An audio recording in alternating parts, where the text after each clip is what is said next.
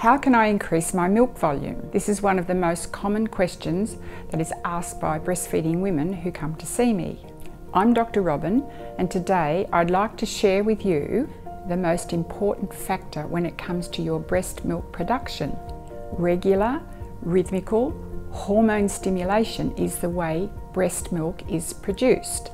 Ideally, this is done with your baby feeding at your breast around seven times in 24 hours from both breasts.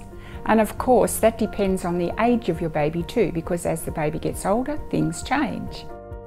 These days, there are so many cleverly marketed products that entice breastfeeding women by stating that they'll help you increase your milk volume. But really, there is nothing more effective than a balanced nutritional diet, good hydration, some rest when you can get it, with regular rhythmical hormone stimulation from your breast and observing some of my key principles with the baby at your breast. Based on my years of experience with breastfeeding women, my encouragement is for you to consider how things like cookies, drinks, and supplements may affect the smell and taste of your breast milk. Trust your instincts and be well informed on the basic principles of human milk production so that you have the knowledge to make decisions for the well-being of you and your baby.